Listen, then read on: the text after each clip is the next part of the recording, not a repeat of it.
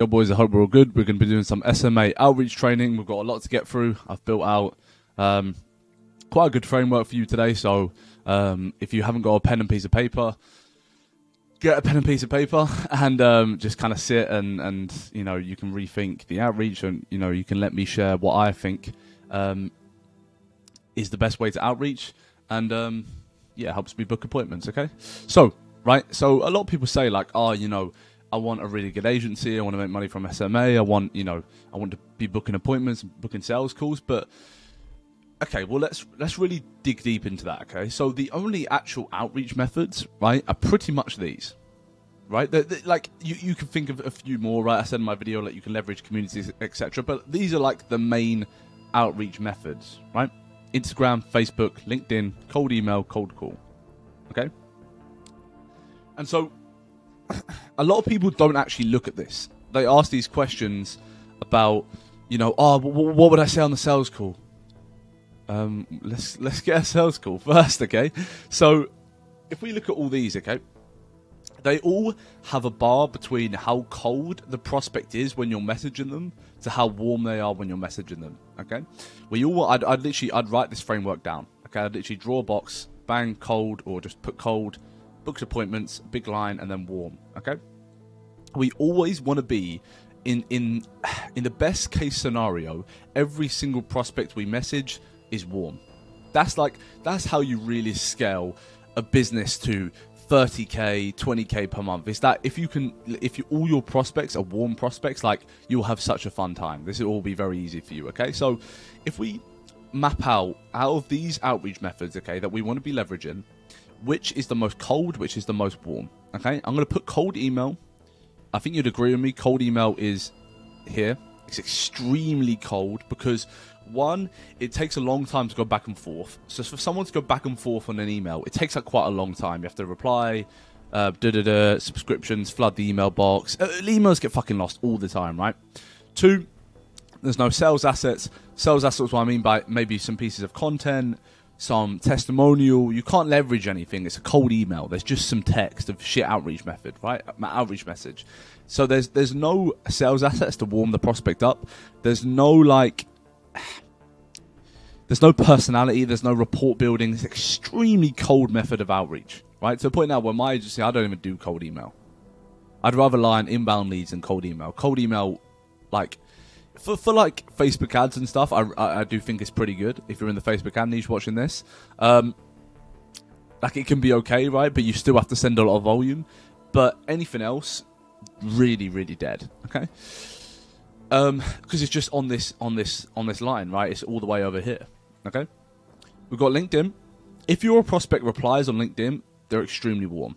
Because for someone to reply on LinkedIn, it's extremely um, extremely rare and also linkedin was made as a business platform. If you think about every other platform instagram entertainment facebook stories social life um, linkedin straight business okay? So if someone's replying to you they're not here to have a fucking fuck about conversation. They're here to talk business okay? So they would be qu- qualified as a warm prospect if they do reply on linkedin okay? Because that is very it was literally made as a business platform only talk business straight business okay?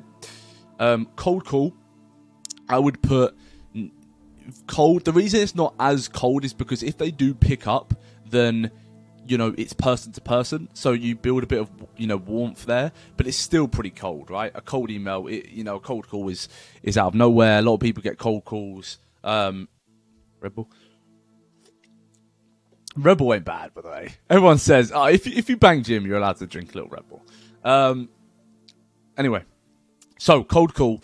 Um, like when they pick up, it, it's you and a person, so I guess it, it, it creates some sort of warm prospect building there.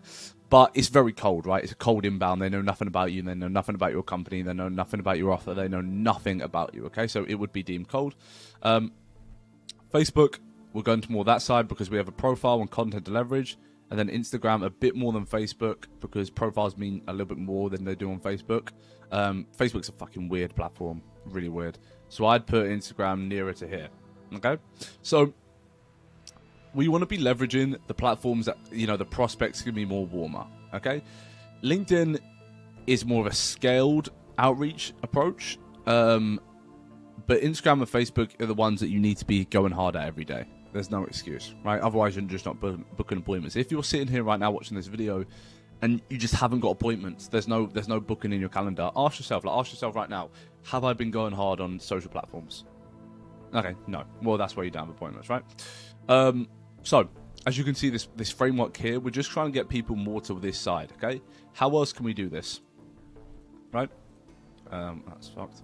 How else can we get more people towards the warm side? So going this way, opposed to that way, as possible, right?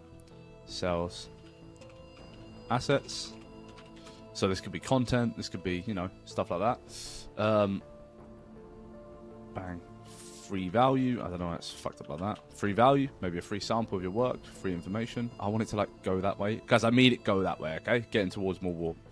Um, so free value, uh, sales assets, um, um, uh, a VSL, video sales letter, which is powerful as fuck. Um, so we're, we're just trying to anything that we can do to get the cogs moving this way to warm towards the warm prospect. Till they feel comfortable with you they know what you're offering they know that you're good at the fucking offer and you can kind of run it okay? So that's basically this framework. So we're going to the next offer okay? Now your offer is extremely important. If it's not service market fit then no one really cares and it's not a scalable business okay? For like zero zero to like 5 10k it's just selling something to one person right? You don't need to diversify your prospect too much it's just selling someone to, to, to some person okay? So the thing that you need to write in your offer um, and and if you can't work this out like if if if you can if you can't write five reasons as to why your offer increases a client's revenue or increases a client's social status then it's not an offer you should go with Okay, because that's all we're doing. That like that's all the client really gives a fuck about. Like, if it's not increasing their revenue, if it's not increasing their social status, then they don't really care, right? If if you look at any human being ever, like they want either increased amount of fame or increased income, preferably income, right? But if the social status increase can also increase the revenue, like measurable, then that's also great. Okay with an offer as well, value slash convenience. So I'll go back to Thomas Gannett's most recent video. His offer just has so much convenience. That's all he was optimizing for convenience. It's all in the one spot. Bang, you can do it quick. He's going to make a fuck ton of money. I love that offer. I absolutely love that offer for Thomas. Um, so it's because he just prioritized so much convenient. It's so convenient for the client to have what he's selling, right? This is this is incredible business. It's just business 101, right? If we look at the biggest companies in the world, it's extremely convenient to have their products. This is how you scale a good business. So, also a guarantee, right? Your, your, your offer has to guarantee it works. Like, if there's any risk involved for the client, then they won't sign you. Like, we have to really, really dig deep into our mind. Like, someone spent, like, someone's transferring over a thousand pounds online over the phone. Like, there can't be any risk.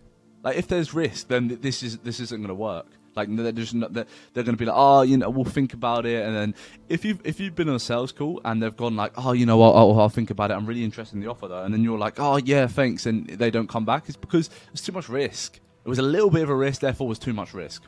Okay, so to minimize this, obviously we can offer a guarantee. Um, we can also do a free sample slash value. Okay, so this is a free short. This is the free video going over how that works or how you can improve your business. There's a free logo that might look a little bit better. I don't know, like it's free value. Okay, this is how we're gonna, you know, um, get into play the reciprocation tendencies law, where they're gonna, you know, feel like they they need to give you something back, right? It just plays a little bit.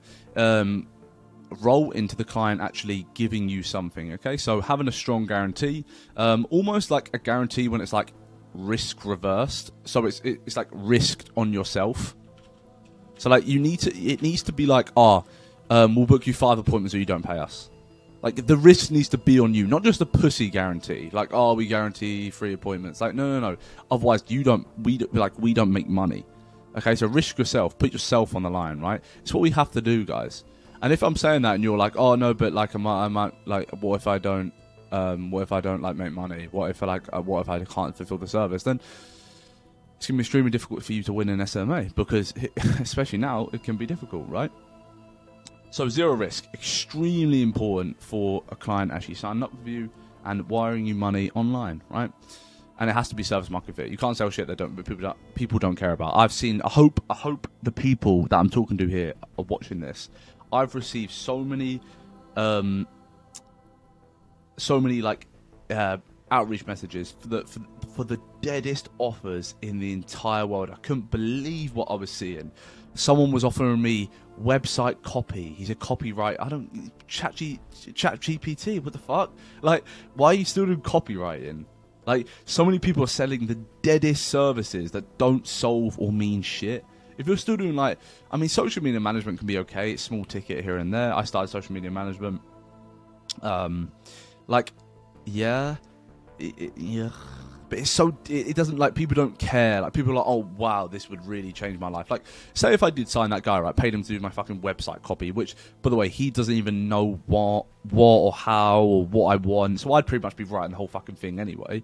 Do you see how much of a dead offer that is? It's just so dead. Who I got an offer, someone wanted to work for me, and I, like if you're watching this video, like no offense, and like like I just I just want to help. That's why I like if we go authentic here, you've watched 11 minutes of this video, so you clearly like me in some way. Because if I'm ever like a little bit, a bit out there, or I say something that might offend people, it's because uh, like there is good intentions behind it, right? It's just because it, it, it, the shit's not working. I don't want you to waste your time. I don't want you to be walking around and me trying to. Nah, yeah, man, like it, it can be good. Haha, like sub to me, please, because the truth is that's not going to help you. Okay, so so for example, uh, some guy he was like, "Oh, you know, I can schedule your posts. Like, I'm a really good um, algorithm." Like, are you? That's boring. Like, it's boring. It's boring. I don't want it. Okay, so it has to be service market fit. It absolutely has to be service market fit. Targeted prospects. Okay, so you can niche down. So, for example, if you're doing a Facebook ad agency, then you can niche down to like car companies, etc., um, or something like that, like uh, med spas. But you know, Thomas is kind of destroying that game, so I don't know how it, I don't know how anyone's going to land. Mm. Um, especially if you're doing the dead outreach numbers. Um, and you can tailor your outreach message to the prospect avatar. Okay, so if you were doing a car dealership, your average message would be, "We've worked with car dealerships before."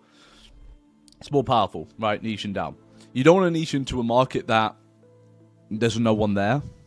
There needs to be people there, but you know you need to do that. Okay, is everyone else doing it?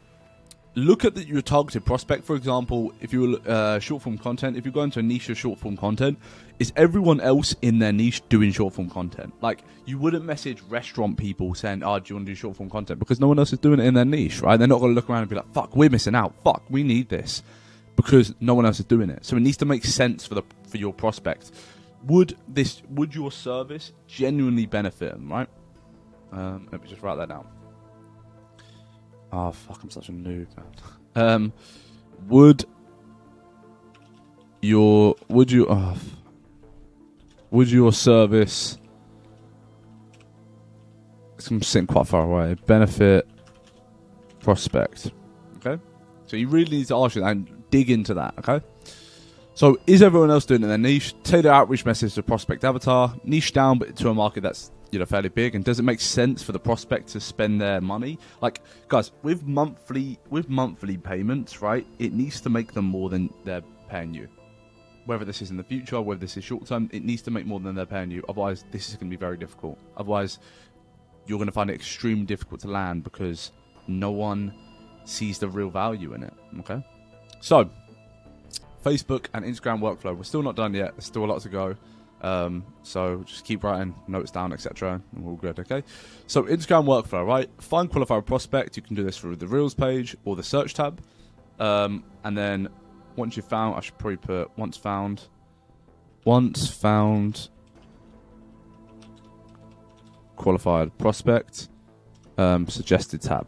Okay, so when you can find, you know, other um, people the same niche, uh, the same account. A lot of people say that, and they're like, "Oh, isn't that cliche advice?" Yeah, it's cliche because it's fucking good.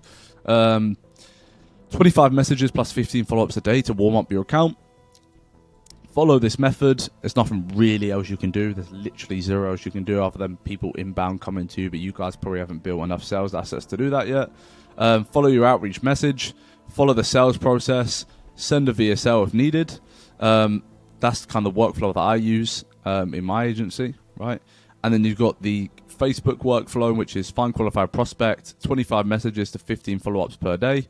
We're going to be leveraging Facebook groups um, with relevant prospects, right? This is just giving us a pool of prospects that you know would actually be interested in our service, right? Instead of going out and find them individually, they're all in the same spot waiting for us to message them, right? Same process: outreach message, sales process, and VSL. Um, this is extremely important. You at least stay consistent for this for, um, uh, you know, a month or so. There's in agency network. There's a uh, add 10k framework where I go over like, okay, so once you've actually done your outreach, what you can do to kind of refine your outreach, and it's a fucking sick method. I haven't seen people talk about on YouTube, um, so that's pretty cool. Um, outbound prospecting quality, yeah, this is really important. So, like, you can do all this, right? Like, you can do like Instagram workflow, you can do like Facebook workflow, you can have your targeted prospect, you can have service market fit. There's a lot here, right?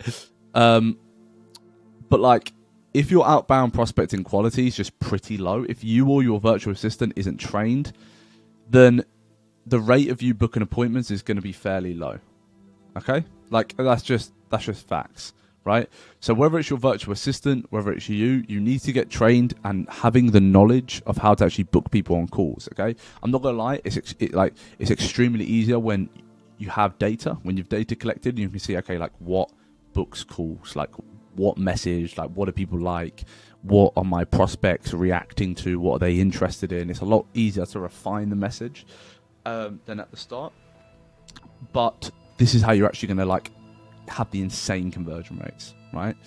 Um, yeah. So obviously, there's a whole process to training a virtual assistant. So much that you're probably unaware of. Um, but that's how the process goes. And guys, if you do this correctly, every 50 messages you can, or for 30 messages, you can get an interested, um, you can kind of get an interested prospect, okay? Another thing, right? Obviously, you've heard me say this a million times. Here's the bit where you get insecure. Um, I would have a profile like this, personally, okay? I'd have all the highlights of what you need, um, etc. There's a few of my boys who are actually doing this. Um, ah, banger.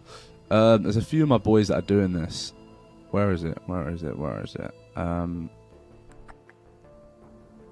uh, they followed me recently. Oh, I can't click on the thing though. Um, what's his name? L.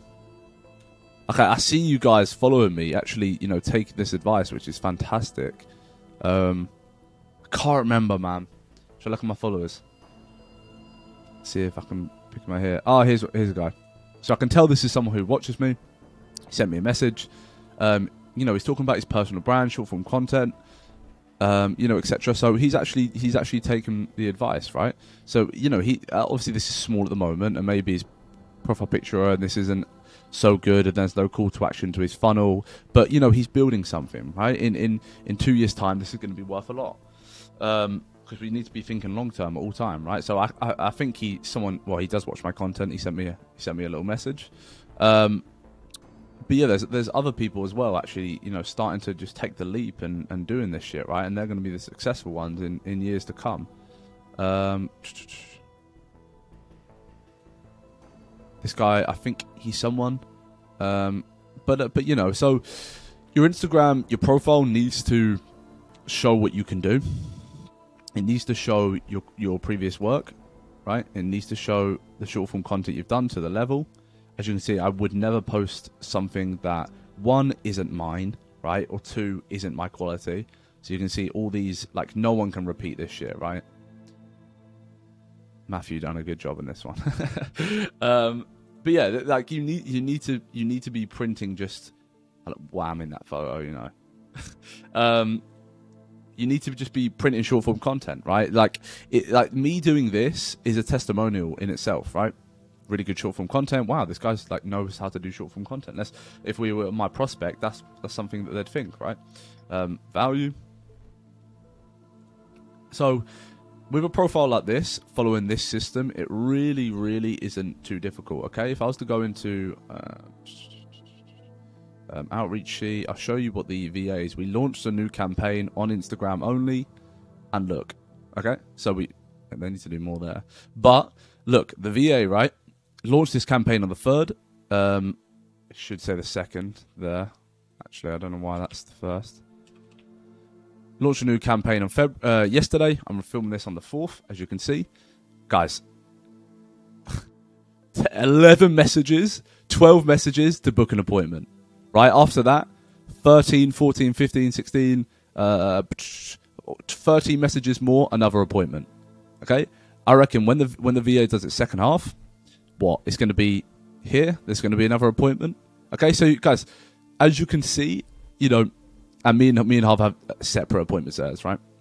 Like for Instagram and Facebook, um, because we don't want to get them muddled up, etc.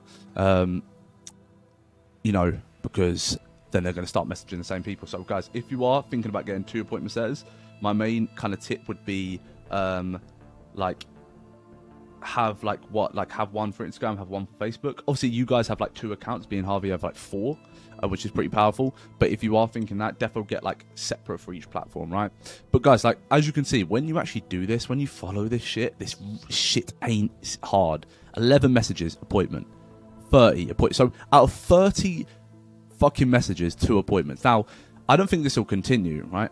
I thought my video was there for a second. Um, but as you can see, it's going well, right? We literally launched this yesterday.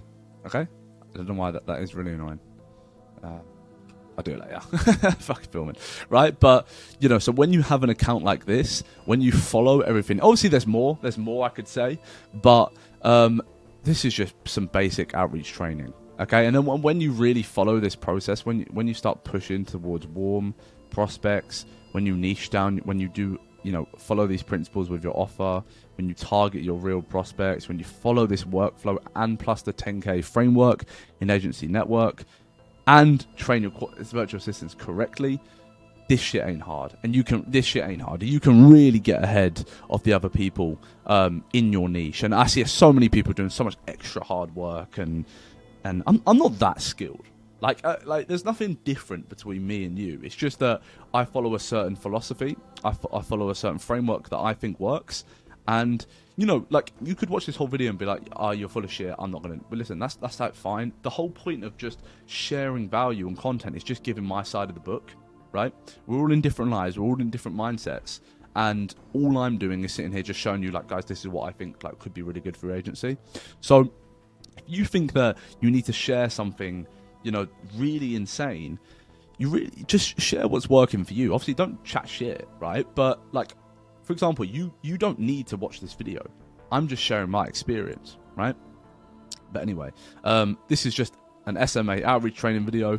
Um, I'm just trying to give as free value as I can. Uh, kind of went on for a little bit long, but, um, but yeah, I'm I'm really excited about the future. Just having this knowledge, knowing all this, and um, and yeah, so boys, if you're not in agency network, get an agency network. Um, I think like our free server just has like, I think we went a little bit overboard. Like no free servers have like fucking. This is what we built it because so many free servers just act like as like a hub. You join the free server and they don't give you shit, right? It's just upgrade, right? But we've actually got like there's like eight unlisted videos there. Um, we're launching something there soon as well, which is pretty cool. Um, yeah, it's just funny. And then, and then the upgrade is like 997 or like 100 quid a month. It's like, fucking hell. Um, but anyway, maximum potential. Let's get another five. I'll see you next one.